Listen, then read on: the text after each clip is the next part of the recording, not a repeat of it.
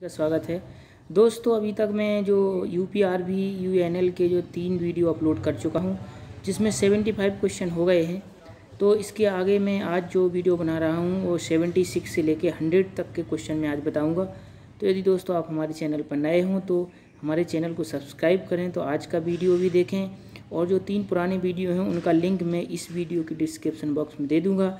तो उससे आप हमारे वो सेवेंटी फाइव क्वेश्चन भी पढ़ सकते हैं और ट्वेंटी फाइव क्वेश्चन ये पढ़ सकते हैं। तो हम आज अब ट्वेंटी फाइव क्वेश्चन स्टार्ट करते हैं। आज की हमारी जो ट्वेंटी फाइव क्वेश्चन है, ये क्वेश्चन में पहला क्वेश्चन जो रहेगा वो सेवेंटी सिक्स नंबर का क्वेश्चन रहेगा हमारा कि सेवेंटी सिक्स नंबर से लेके हंड्रेड नंबर तक के क्वेश्चन रहेंगे। तो हम स्टार्ट करते हैं दोस्तों क्वेश्चन हमारा जो क्वेश्चन है पहला वो ये है कि हमें मैचिंग करना है। देखिए इसमें दिखाया गया है कि मैच द कॉलम देखिए इसमें मैच द कॉलम इसमें दिया है।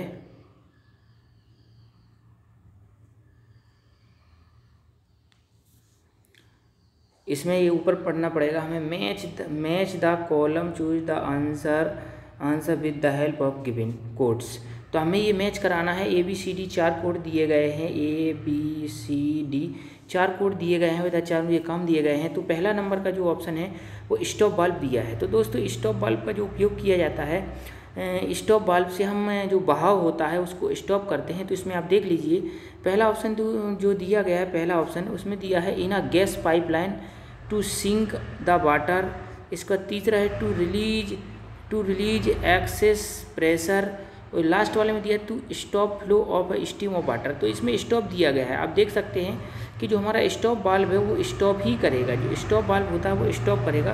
तो ए का हम फोर्थ आंसर में मैच कराएँगे। देख लीजिए, इसमें ए का हम जो मैच कराएँगे ए का ए का हम मैच कराएँगे फोर्थ वाले में। तो इसमें मैचिंग में देख लेते हैं कौन से में क्या दिखा रहा है। देख लीजिए, इसमें जो हमारे ऑप्शन दिए गए हैं तो फ़र्स्ट ऑप्शन है, उसमें जो फ़र्स्ट ऑप्शन दिखा रहा है। फ़र्स्ट ऑप्शन में ए का फोर है सेकेंड ऑप्शन में ए का थ्री है थर्ड ऑप्शन में ए का टू है, और फोर्थ ऑप्शन में ए का थ्री है। तो देखिए, हमें इससे हमारा थोड़ा सा क्वेश्चन सरल हो गया कि एक ही ऑप्शन में ए का फोर दिया गया है। यदि ये दो तीन ऑप्शन में दिया होता है ए का फोर तो दिक्कत हो जाता है। तो ए का फोर दिया गया एक ही ऑप्शन में, इसलिए हमारा फ़र्स्ट आंसर जो है राइट आंसर हो जाता है। यदि ए का फोर बी ऑप्शन में भी दिया होता है तो हमें, अब हमें ये देखना पड़ता है कि यदि दो ऑप्शन में ए का फोर दिया होता, इधर भी दिया होता और इधर भी दिया होता तो फिर हमें बी को मैच कराना पड़ता कि बी का कौन सा आंसर सही है। लेकिन इधर पे हमारी समस्या सॉल्व हो गई है। तो इसलिए हमारा ए का फोर एक में ही दिया है। ए का for stop to flow stop of flow of steam and water तो ये जो है स्टॉप बल्ब का प्रयोग स्टॉप करने के लिए किया जाता है। इसलिए हमारा फ़र्स्ट आंसर हो जाएगा। इसका सेकंड क्वेश्चन जो है, ये हिंदी में दिया है। इसका इंग्लिश का जो सेवेंटी सेवन क्वेश्चन है, वो है in a circular pitch of a spur gear is sixteen m m तो दोस्तों, जो इसमें जो सर्कुलर पिच है गियर का क्वेश्चन है, ये सर्कुलर पिच सी पी जो होता है, ये है sixteen m m circular pitch sixteen m m है इसके बाद है पिच सर्कल डायमीटर जो है, वो है चार सौ अस्सी m m pitch circle dia जो पी डी है तो पी डी पी डी की वैल्यू है चार सौ अस्सी एम एम तो हमें इसमें निकालना है in find of the teeth हमें टीथ की संख्या निकालनी है। तो इसका जो सूत्र होता है दोस्तों, ये सूत्र तो हमें थोड़ा याद करना पड़ेगा कि पिच सर्कल डाया बराबर जो सूत्र होता है पी डी बराबर पिच सर्कल का व्यास बराबर होता है सर्कुलर पिच बटे दांतों की संख्या। ये सूत्र होता है, ये दोस्त आपको सूत्र लिखना पड़ेगा। पिच सर्कल का डाया बराबर होता है, पिच सर्कल के डाया बराबर होता है। ये पिच सर्कल का डाया जो हमें फाइंड करना पड़ता है। तो पिच सर्कल का डाया जो होता है, वो सर्कुलर पिच बटे दांतों की संख्या होता है। ये दांतों की संख्या नीचे आती है। तो हमें क्या क्या दिया है? इसमें तीन चीज़ें दी गई हैं। तो तीन चीज़ में हमें इनका मान रखना है। तो जो हमारा ये चार सौ अस्सी था, पिच सर्कल का डाया तो पिच सर्कल की डाया की जगह हम रखेंगे कितना? चार सौ अस्सी रखेंगे और बराबर में जाके सर्कुलर पिच हमारा कितना था? सर्कुलर पिच इस पर गिर सर्कुलर पिच सिक्सटीन एम तो हमारा सर्कुलर पिच था, वो सिक्सटीन एम था और बटे में जो हमें एन था, एन की वैल्यू हमें निकालना है। तो इस हिसाब से हम इसको सॉरी, इसमें हमारा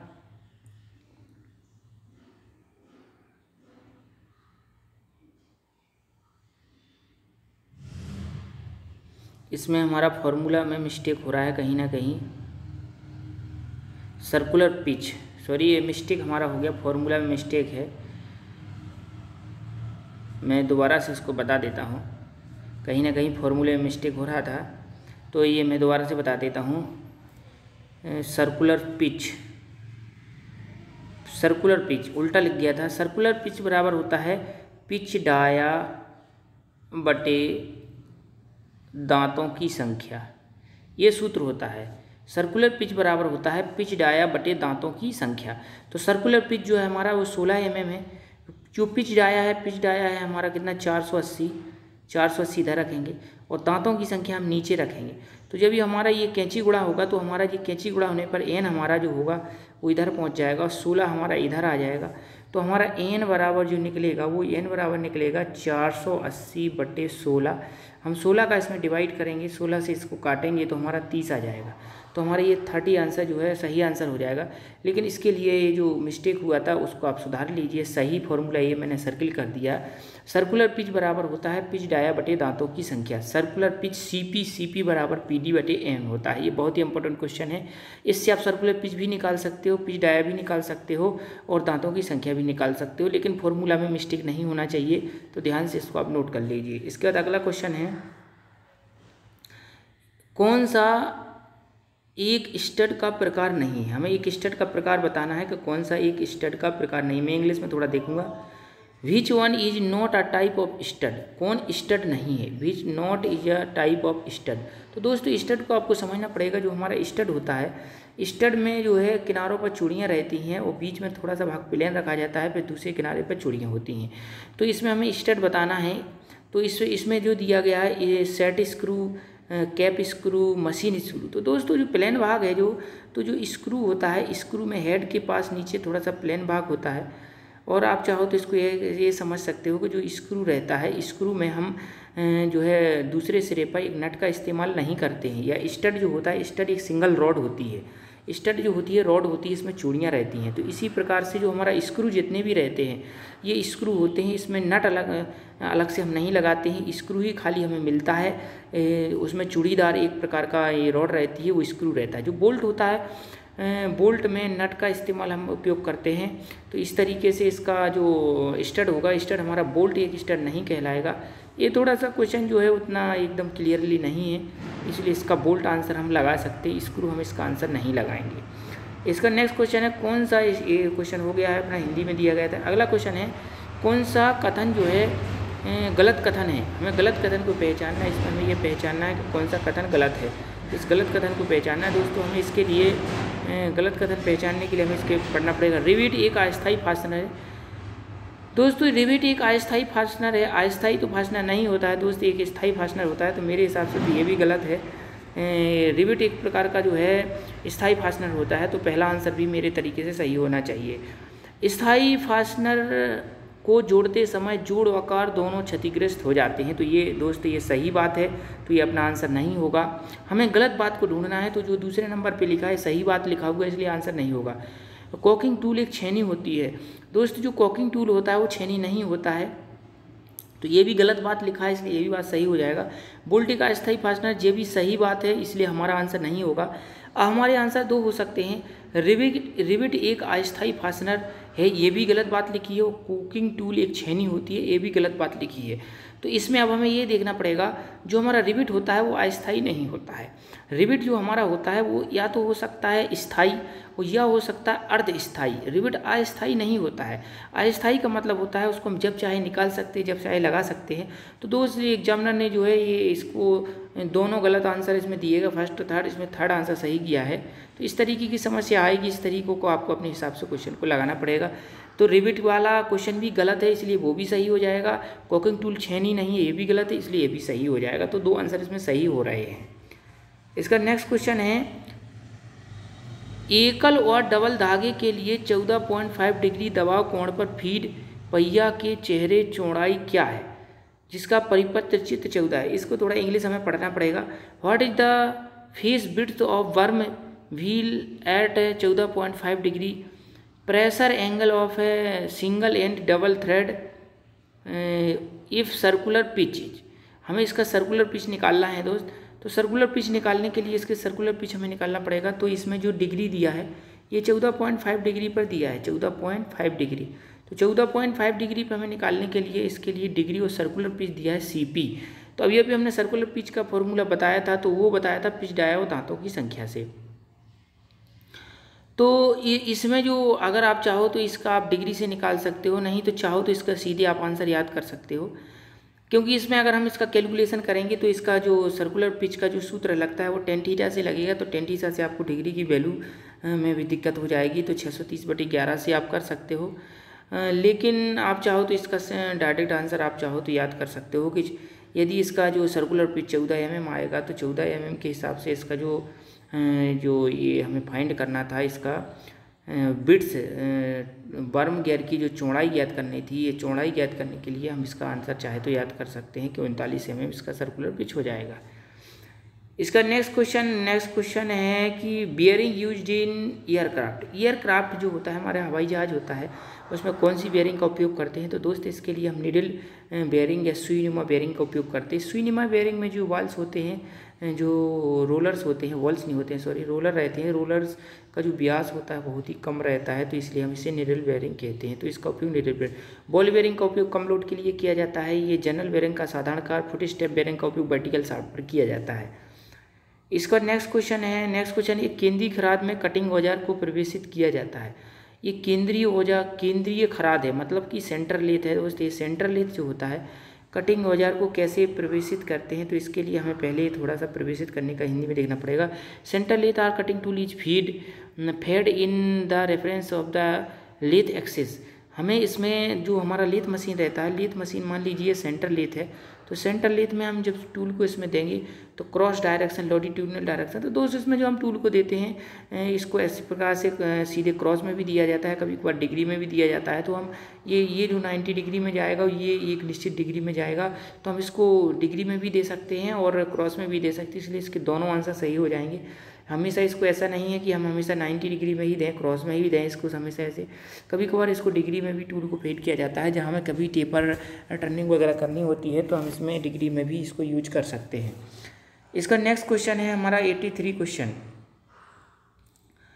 इसमें से कौन सा एक अस्थाई न्यू बोल्ट है? अस्थाई न्यू बोल्ट। अस्थाई न्यू बोल्ट का मतलब होता है फाउंडेशन बोल्ट। तो ऐसा फाउंडेशन बोल्ट की जिसको हम निकाल सकते हैं तो दोस्त, जो फाउंडेशन बोल्ट होते हैं, वो स्थायी रहते हैं, लेकिन कई फाउंडेशन बोल्टों को हम निकाल भी सकते हैं। तो इसमें से मैं इंग्लिश नाम में आपको दिखा देता हूँ कौन से फाउंडेशन बोल्ट है। हु बोल्ट है? रैक बोल्ट है। तो दोस्त, जो ये बोल्ट रहते हैं, इसमें एक लेविस बोल्ट होता है। लेविस बोल्ट से हम कैसे याद रखेंगे? लेविस बोल्ट जो होता है अब ये सारे बोल्ट जो ऊपर वाले दिए गए हैं, इन सारे बोल्टों को जब ये बार ये फाउंडेशन गिल्टी में लग जाएँगे तो इनको हम निकाल नहीं सकते हैं। और लेविस बोल्ट को निकाल सकते हैं, क्योंकि लेविस बोल्ट जो इस तरीके का होता है, मैं बना के आपको दिखा देता हूँ।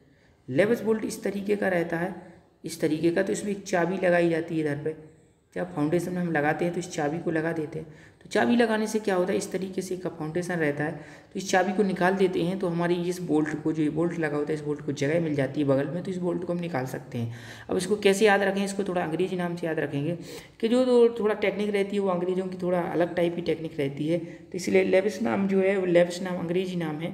इसलिए इसको अलग, थोड़ा अलग टाइप का रहता है, इसलिए इसको निकाला जा सकता है और फाउंडेशन को बिना तोड़े। इसलिए इसका नाम होगा लेविस बोल्ट इसका अगला क्वेश्चन है, इसमें हमें ये बताना है कि इसमें से कौन सा कथन, इसमें मैं इंग्लिश में देख लेता हूँ। इसमें लिखा स्टेटमेंट में taper taper is quarter bolt can be varied from एक बटे अड़तालीस इंच टू एक बटे चौबीस inch quarter bolt tapered can be increase up to एक बटे आठ इंच इसको थोड़ा हिंदी में देख लेता हूँ। ये क्वार्टर बोल्ट में टेपर एक बटे चौबीस इंच के लिए एक बटे अड़तालीस इंच से तक प्रचलन करता है। यानी कि क्वार्टर बोल्ट जो होता है, उसमें टेपर जो होता है, एक बटे चौबीस इंच अड़तालीस इंच तक पहुँचता है। क्वार्टर बोल्ट का टेपर एक बटे आठ इंच तक बढ़ाया जा सकता है। तो दोस्त, इसमें जो क्वार्टर का टेपर होता है क्वार्टर का टेपर एक बटे चौबीस इंच नहीं होता है। आपको मालूम होगा क्वार्टर का टेपर जो होता है वो एक बटे पचास इंच के आसपास होता है। एक क्वार्टर जो होती है प्लेन क्वार्टर राउंड होता है जो। ये एक बटे पचास इंच का टेपर होता है क्वार्टर में। तो दोस्त, इसमें जो ये लिखा हुआ है कि एक बटे चौबीस इंच से होता है तो ये गलत लिखा हुआ है। तो एक बटे चौबीस इंच तो नहीं होता है क्वार्टर में टेपर एक बटे पचास इंच का टेपर होता है तो पहला स्टेटमेंट जो है वो इसका पहला स्टेटमेंट सही नहीं है। तो ऑप्शन में देख लेते हैं क्या दिखा है। पहला तो सही है तो पहला आंसर गलत हो जाएगा। इसका पहला आंसर गलत हो जाएगा। इसके बाद दूसरा है क्वार्टर वोल्ट का टेपर एक बटे आठ इंच तक बढ़ाया जाता है। तो हाँ ये आप कह सकते हो कि हम उसमें जो टेपर है वो एक बटे आठ इंच तक इसका हम बढ़ा सकते हैं, इसलिए दूसरा आंसर इसका सही आंसर हो जाएगा। इसके बाद तीसरे में क्या दिया है? केवल एक और दो दोनों सही तो दोनों सही तो नहीं है। मैंने पहले आपको बता दिया कि एक बटे पचास इंच का टेपर होता है। दोनों गलत दोनों गलत नहीं है। इसलिए इसका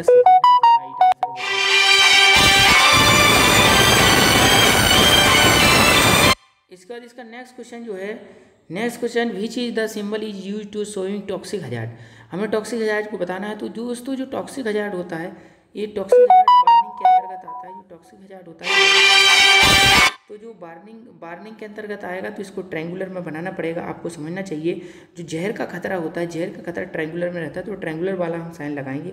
तो इसका जो है सेकंड आंसर जो है राइट आंसर हो जाएगा टॉक्सिक हजार्ड जो पहला वाला होता है, ये हमारा मैंडेटरी में होता है सर्किल वाला। इसके बाद ये इन्फॉर्मेशन में होता है इसके बाद एक और ट्रैंगुलर में बना हुआ है ट्रैंगुलर में ये बना हुआ है, ये बम विस्फोट का रहता है, जो इसमें ये ये है, जो ये वाला जो खतरा होता है, ये रहता है कहीं पर कोई भी लेजर बीम या कोई भी विस्फोट वाला खतरा होता है तो ये विस्फोट वाला खतरा भी वार्निंग में आता है, लेकिन टॉक्सिक हज़ार सेकेंड ऑप्शन इसका सही आंसर होगा।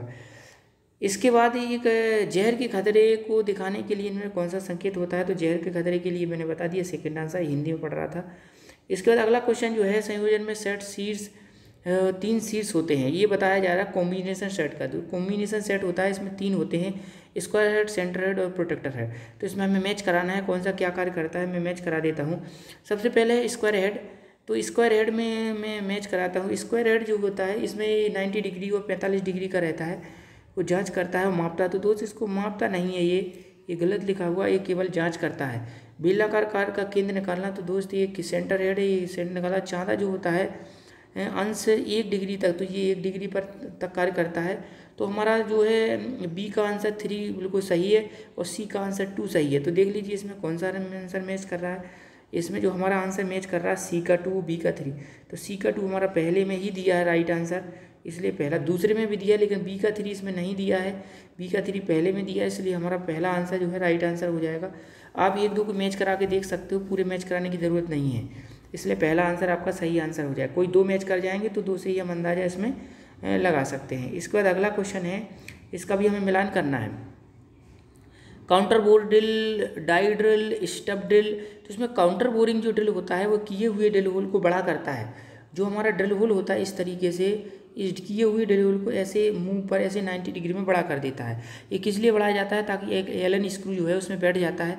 तो हमारा जो काउंटर बोर्ड ड्रिल है, ये पहले ही मैं इस करे। एलन स्क्रू का सीरीज़ इस बैठाने के लिए उपयोग किया जाता है। तो इसमें हम एलन स्क्रू के कोई ऑप्शन देख लेते हैं। ए का वन तो ए का वन में देख लीजिए, इसमें सी आंसर में ए का वन दिया है। और किसी आंसर में ए का वन नहीं दिया है तो आप एक ही मैच करा के इससे अंदाज़ा आप लगा सकते हो कि जो ए का वन में ये देख लीजिए, किसी में भी ए का वन नहीं है, दूसरे में, तीसरे में तो आपको किसी को ज़्यादा जानकारी की ज़रूरत आपको नहीं है। यदि आपको एक जानकारी है कि जो काउंटर बोरिंग स्क्रू होता है, वो हमारा काउंटर बोरिंग होल में एलन स्क्रू बैठ जाता है तो ए का वन है। यदि और किसी ऑप्शन में ए का वन होता तो फिर हम बी को मैच कराते इसलिए इसमें इस क्वेश्चन में हमें ज़रूरत नहीं है, क्योंकि ए का वन जो है, एक ही ऑप्शन में है। इसका नेक्स्ट क्वेश्चन जो हमारा है, इसमें भी मिलान करना है। एकल single cut file rasp cut file और युग्म कट फ़ाइल। तो दोस्त जो हमारी रेस्प कट फ़ाइल होती है, इसका हमें मालूम है। तो रेस्प कट फ़ाइल का उपयोग करते हैं लकड़ी के लिए। तो दोस्त, इसमें लकड़ी के लिए दिया है। तो हमारा जो बी का थ्री में मैच करेगा, हम ऑप्शन में देख लेते हैं कि बी का थ्री किसमें दिया है किस ऑप्शन में दिया है। तो दोस्तों बी का थ्री दिया है, ये दो ऑप्शन में दिया है तो इसमें हमारी समस्या खड़ी हो जाएगी। बी का थ्री तो हमारे ये ये ऑप्शन फ़र्स्ट ऑप्शन भी सही हो सकता है, चौथा ऑप्शन भी सही हो सकता है। अब हम मैच कराएँगे कोई दूसरा ऑप्शन या तो सी मैच कराएँगे या बी मैच कराएँगे। अब सिंगल कट फ़ाइल जो होती है ए अब ए में ऑप्शन में देखिए सिंगल कट फ़ाइल का उपयोग कहाँ करते हैं? अधिकतम रेतीकरण कार्यों सामान कार्यों हेतु और दृढ़ इस्पात के लिए हार्ड मटेरियल के लिए। तो दोस्त हार्ड मटेरियल के लिए इसका उपयोग नहीं करते हैं सिंगल कट फ़ाइल का उपयोग। सिंगल कट फ़ाइल का उपयोग करते हैं हम शॉर्ट मटेरियल के लिए। तो देख लेते हैं ए का वन। तो ए का वन किसमें दिखा रहा है? ए का ए का दृढ़ इस्पात के रेतीकरण हेतु। दृढ़ इस्पात को थोड़ा हमें इंग्लिश में देखना पड़ेगा।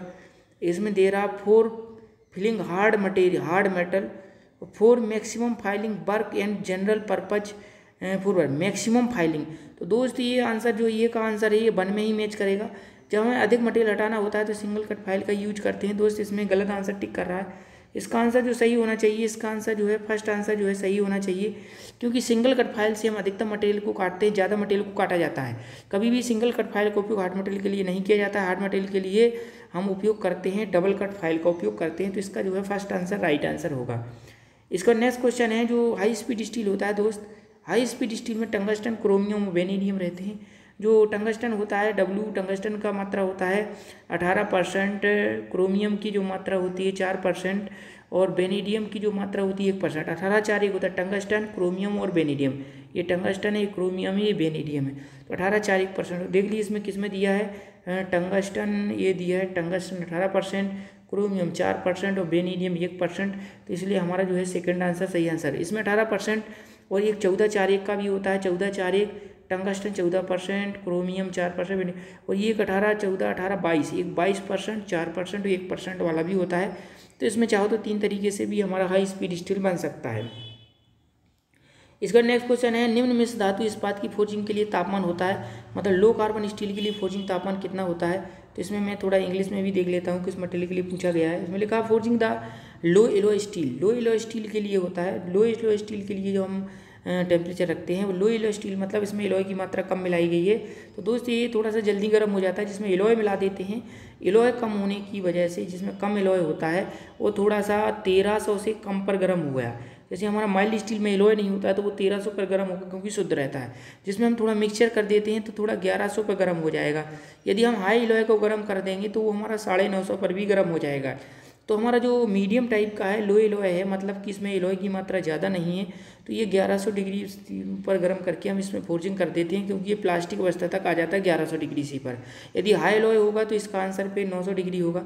ये 900 डिग्री तक प्लास्टिक अवस्था में आता है, और माइल्ड स्टील होगा तो वो तेरह डिग्री पर आता है। इसके बाद नेक्स्ट क्वेश्चन है, इसमें हमें कुछ पहचानना है या मैचिंग कराना है। इसमें हमें मैचिंग कराना है, ये संसी दी गई, संसी को हम टोंग कहते हैं, जो संसी दिया गया है, इसको हम टोंग कहते हैं। तो इस टोंग को हमें मैच कराना है कि कौन सा कार्य करेंगे। तो देखिए, इसमें जो है hollow tong right angle tong flat tong दिया गया दिया गया है। जैसे ये दिया गया है, जो हमारा डी आंसर में दिया गया है डी आई हॉलो टंग है, इसको हम हॉलो टोंग कहते हैं। हॉलो ये है फ्लैट टोंग है, इसे फ्लैट टोंग कहते हैं, इसे हम राइट एंगल टोंग कहते हैं। इसमें हम नाइन्टी डिग्री में चीज़ल को पकड़ते हैं। ठीक है, ये बोल टोंग रहता है या स्क्वायर टोंग कह सकते हैं इसको आप। तो इसमें मैच कराते हैं ए बी सी डी में से। तो इसमें मैच कराना है तो देखिए बर्गाकार टोंग, सपाट टोंग तो जो ये फ्लैट टोंग है, जो फ्लैट टोंग चौथे का आंसर मैच करेगा। जो चौथे का आंसर मैच कराना है तो जो सपाट टोंग है फ्लैट टोंग है तो फ्लैट टोंग जो चौथे नंबर का आंसर मैच कर रहा, ये चौथे नंबर का आंसर इसमें मैच कर रहा है बी नंबर में। तो चौथे नंबर का आंसर जो है बी नंबर में मैच कर रहा है तो चौथे का बी देखेंगे यदि एक ही ऑप्शन में चौथे का बी होगा तो हम वही आंसर सही कर देंगे। और यदि चौथे का बी दो ऑप्शन में होगा तो फिर हमें दूसरा मैच कराना पड़ेगा। तो देख लेते हैं चौथे का बी नहीं नहीं सॉरी चौथे सपाट टोंग का देख लेते हैं। फ्लैट टोंग सपाट टोंग का देख लेते हैं। इंग्लिश में फ्लैट टोंग दिया कि नहीं दिया है? तो इसमें देखते हैं इंग्लिश में कहाँ, फ्लैट है फ्लैट माउथ। तो इसमें फ्लैट माउथ कौन सा है? फ्लैट माउथ है बी नंबर का। तो इसमें देखते हैं फ्लैट माउथ, चौथे का बी तो चौथे का बी ये पहले ऑप्शन में देख लीजिए आप, बहुत ही इंपॉर्टेंट क्वेश्चन देख लीजिए चौथे का बी चार का बी एक ही ऑप्शन में दिया है और ना तो इसमें दिया, ना इसमें दिया और ना इसमें दिया है।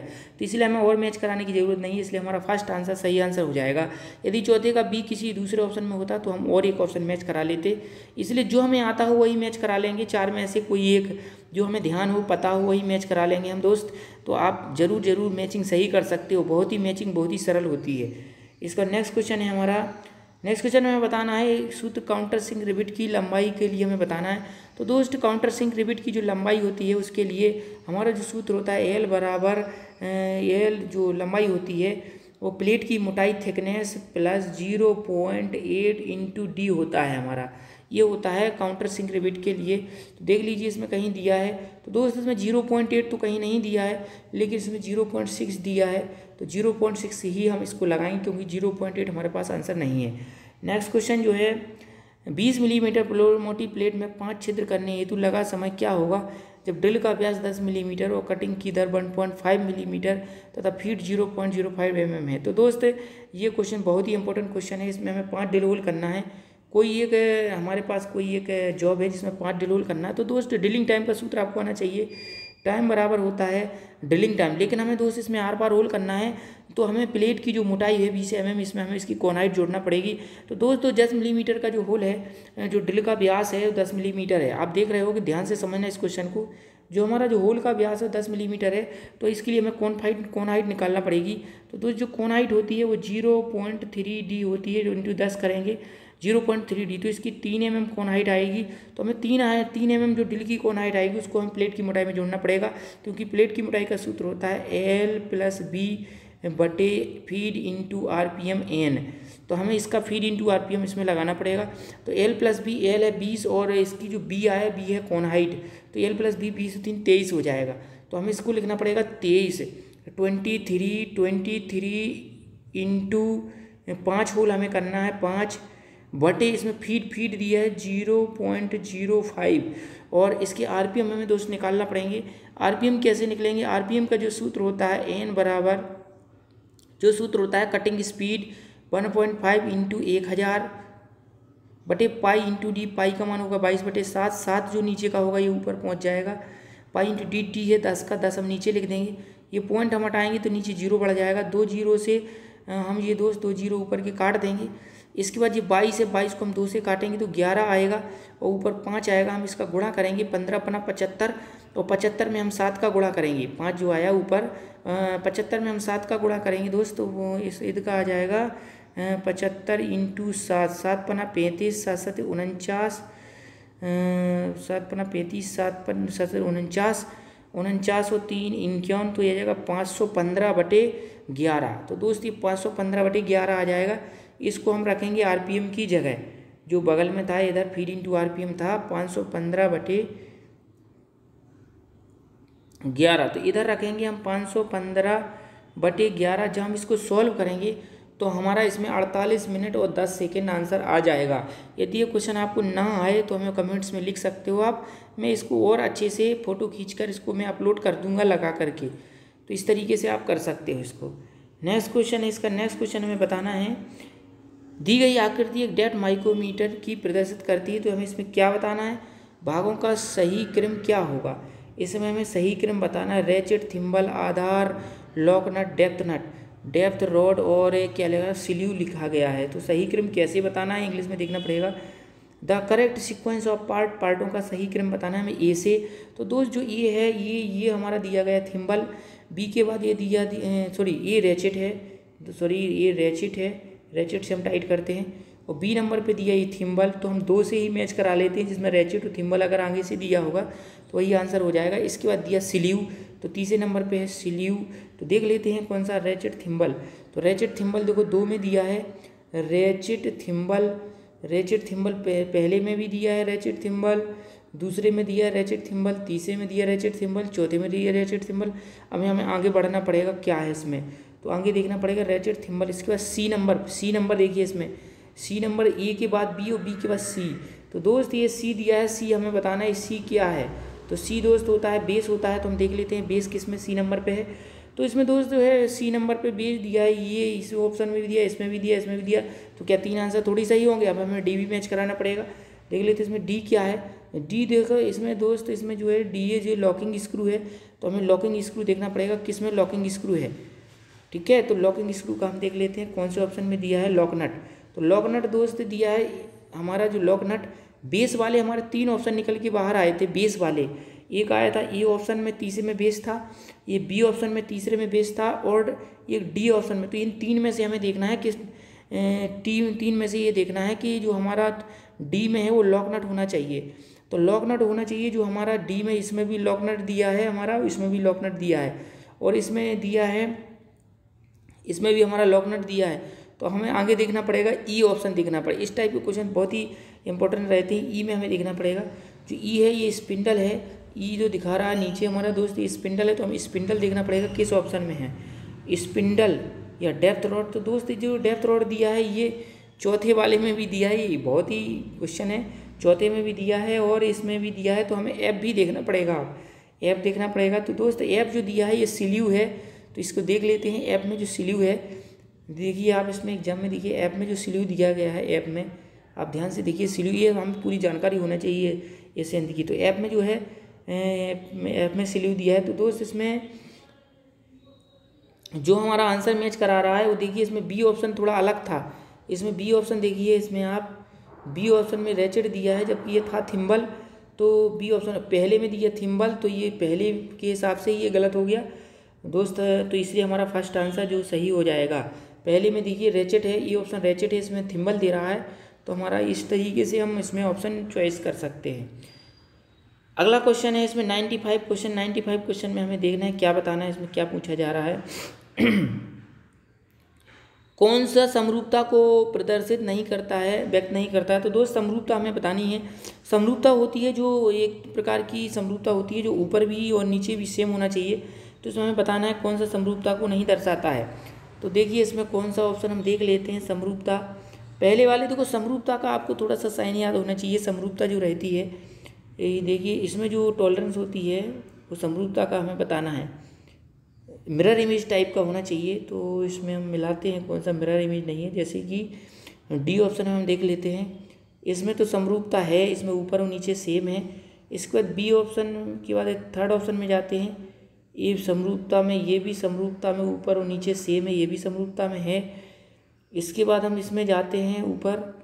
ये भी मिरर इमेज में देख लीजिए आप, ऊपर और नीचे। देखिए, कुछ अंदर दिख रहा है। ये भी समरूपता में इसका ऊपर और नीचे। थोड़ा सा देखना पड़ेगा अपन को इसमें, वो इसमें भी समरूपता में है। ऊपर और नीचे सेम दिख रहा है, बिल्कुल टेपरनेस भी सेम दिख रही है।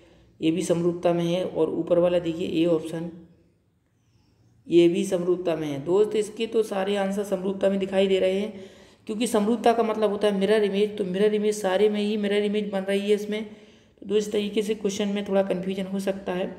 जो इस प्रकार का क्वेश्चन है, इसमें सभी में मिरर इमेज बन रहा है। ऊपर मेरे, ऊपर और नीचे जो सेंटर लाइन रहती है, इसमें जो बीच की लाइन होती है, इसमें बीच की लाइन जो सेंटर लाइन होती है, इसमें सारे में जो मिरर इमेज बन रही है। समरूपता देख लीजिए आप, एक बार और मैं चेक कर लेता हूँ। मिरर इमेज में।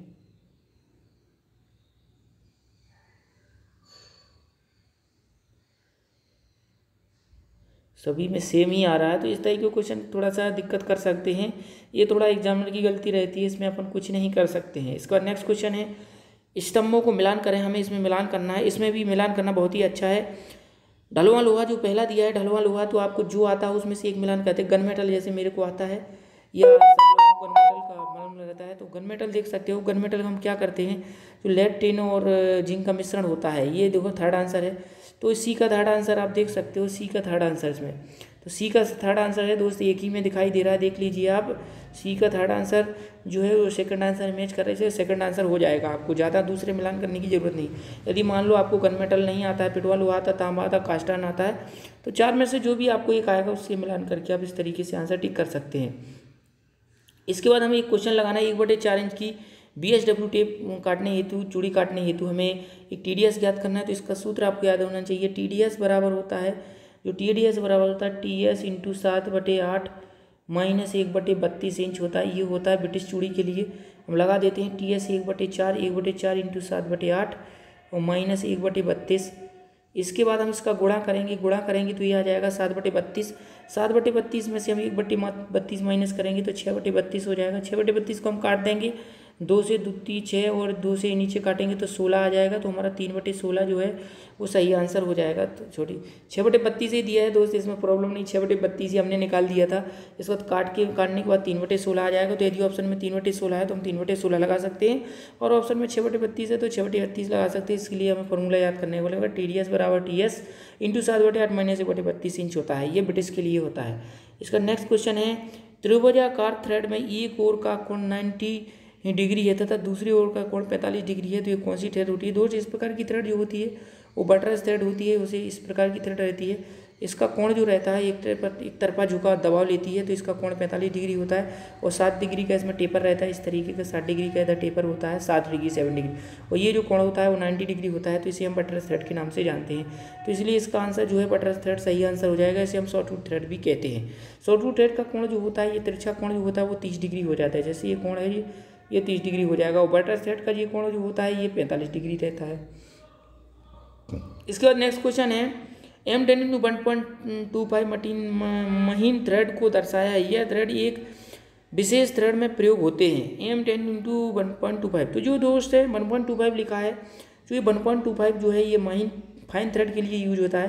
तो जो हमारी फाइन थ्रेड रहती है फाइन थ्रेड आसानी से खुल जाती है वो आसानी से लग जाती है। तो देख लीजिए इसमें क्या दिया है ऑप्शन हम पढ़ लेते हैं। When force is required in fixing a thread force के लिए तो फोर्स के लिए तो दो स्क्वायर थ्रेड होती है मीट्रिक थ्रेड यूज़ नहीं होती है एम दिया एम का मतलब होता है metric thread to prevent thread from easy opening तो ये जल्दी से कस जाती है, जल्दी से खुल जाती है. When other type of thread are enable unavailable मतलब ये कहा जा रहा है इसमें कि जब अन्य प्रकार की चूड़ियाँ उपलब्ध ना हो तो दोस्त इस प्रकार की थ्रेड का उपयोग करते हैं. दोस्त ऐसा नहीं है फाइन थ्रेड का उपयोग कहीं भी हम नहीं कर सकते हैं. इसके बाद है when coarse pitch is not available जब कोर्स पिच की चूड़ी उपलब्ध ना हो दोस्त ऐसा नहीं है कोर्स पिच की जगह हम कोर्स पिच की चूड़ी का उपयोग करते हैं फाइन पिच की जगह फाइन पिच की चूड़ी का उपयोग करते हैं तो, तो फाइन पिच की जो चूड़ी होती है बहुत ही स्मूथ काटी जाती है तो इसमें कसने में ज़्यादा दिक्कत नहीं होती फंसती नहीं है आसानी से कस जाती है इसलिए इसका आंसर हो जाएगा आसानी से खोलने और कसने के लिए। रीमर की सहायता से निकली की धातु की मात्रा क्या होती है तो दोस्तों रीमिंग रीमर का जो अलाउंस होता है वो पॉइंट ज़ीरो टू मिनिमम होता है और पॉइंट वन फाइव मैक्सिमम होता है। इसको बता देते हैं। इसके दो अलाउंस होते हैं। एक होता है पॉइंट वन से पॉइंट वन फाइव तक और दूसरा अलाउंस होता है वो पॉइंट ज़ीरो टू से पॉइंट ज़ीरो फाइव तक। तो इसमें देख लीजिए पॉइंट ज़ीरो टू साधारण कार्य के लिए होता है बड़ा से बड़ा पॉइंट फाइव होता है। इसलिए इसने जो साधारण कारों वाला और बड़ा से बड़ा दोनों दे दिए तो पॉइंट ज़ीरो टू से पॉइंट वन फाइव आप चाहें तो पूरी रेंज याद कर सकते हैं। छोटा से छोटा और बड़ा से बड़ा। इसका नेक्स्ट क्वेश्चन है, इसका नेक्स्ट क्वेश्चन ये मैच कराने का मैच कराने में बहुत अच्छा रहता है। एक चक है जो ए सिक्सटी जे सिक्स भी के स्तंभों को मिलान करें। तो इसमें मिलान करना है, देख लीजिए इसमें, आदर्श चक। तो इस आदर्श चक को इंग्लिश में देख लेते हैं। Match the column for standard wheel standard wheel को हमें मिलाना है जो हमारा ग्राइंडिंग व्हील होता है। इसमें चक लिखा है दोस्त। चक नहीं है जी ग्राइंडिंग व्हील है। तो दोस्त तुझे ये होता है, ये होता है एब्रेसिव ये आपको मालूम होना चाहिए, ये जो होता है दोस्त वही एब्रेसिव होता है। ये, वो जो शार्ट होता है ग्रीन साइज़ रहता है। तो हम दोनों से ही मिला लेते हैं ग्रीन साइज़ ये एब्रेसिव तो देख लेते हैं। ये एब्रेसिव ये एब्रेसिव तो एब्रेसिव कहाँ दिया है? टाइप ऑफ़ एब्रेसिव सी का वन में मिलान कर रहे हैं। तो पहले हम देख लेते हैं, जो वन का है, वो सी में मैच करना है वन का सी तो वन का सी किसमें दिया है? अगर एक में ही मैच कर जाएगा तो एक में ही हमारा काम चल जाएगा वन का सी लेकिन दोस्त, इसमें ये दिक्कत आ गया है। वन का सी जो दिया है, वो दो ऑप्शन में दिया गया है वन का सी तो हमें एक और मैच कराना पड़ेगा, हमने तो खैर मैच करा ही लिया है। जो हमारा साठ है, वो ग्रीन साइज़ है जी, साठ दिया है जो हमारा, ये सिक्सटी दिया है, ये सिक्सटी हमारा ग्रीन साइज़ है तो ग्रीन साइज़ मैच कराना है टू का बी टू का बी हम देख लेते हैं दो ऑप्शन में टू का बी टू का बी एक बार और करते इसमें गड़बड़ हो रहा है टू का ये दिखा रहा है। टू का बी करना है टू का बी सिक्सटी जो है वो ग्रेन साइज़ है। चलो इसमें दिक्कत हो रहा है तो एक और मैच करा लेते हैं।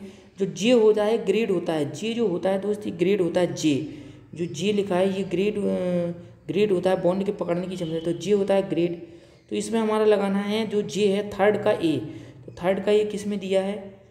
थर्ड का ए जो है थर्ड का ए तो थर्ड का ए तो किसी पहले वाले ऑप्शन में दिया है। दोस्त, इस तरीके से आंसर गड़बड़ हो रहा है। मैं इसको अपने तरीके से बता देता हूँ तो इसको मैं मैच कराता हूँ ए का क्या होगा बी का क्या होगा? ए बी सी डी जो ए ग्रेड होगा ग्रेड का होगा थर्ड ए का थर्ड आंसर होगा ए का ग्रेड ग्रेन साइज़ जो होगा, वो टू आंसर होगा। और जो टाइप ऑफ़ एब्रेसिव एब्रेसिव का प्रकार जो होता है, वो वन आंसर होगा। और जो नंबर ऑफ़ स्ट्रक्चर वो उसका होगा फोर्थ आंसर तो ये आंसर हमें मैच कराना है। अब किसमें मैच कर? ए का थ्री ए का थ्री तो पहले में दिया है। बी का टू दिया है। सी का वन तो इसमें कोई भी आंसर मैच नहीं कर रहा है। ए का थ्री बी का टू सी का वन डी का फोर होगा तो इस तरीके से क्वेश्चन रॉन्ग हो जाता है। इसका आंसर जो होगा ए का थ्री बी का टू सी का वन और डी का फोर होगा। तो दोस्त, ये रहे हमारे सौ क्वेश्चन इन क्वेश्चन में कहीं भी कुछ दिक्कत हो सकती है, क्योंकि जो एग्जामिनर बनाता है वो अपनी दृष्टि से क्वेश्चन बनाता है दोस्त। तो यदि दोस्त, आपको किसी क्वेश्चन में प्रॉब्लम है तो आप हमारे डिस्क्रिप्शन में भी आप हमारे कमेंट बॉक्स में लिख सकते हैं और डिस्क्रिप्शन बॉक्स से हमारे और दूसरे वीडियो भी देख देख सकते हैं और यदि आपको हमारा वीडियो थोड़ा भी अच्छा लगे तो हमारे वीडियो को लाइक करें, शेयर करें और हमारे चैनल को सब्सक्राइब ज़रूर करें। Okay bye bye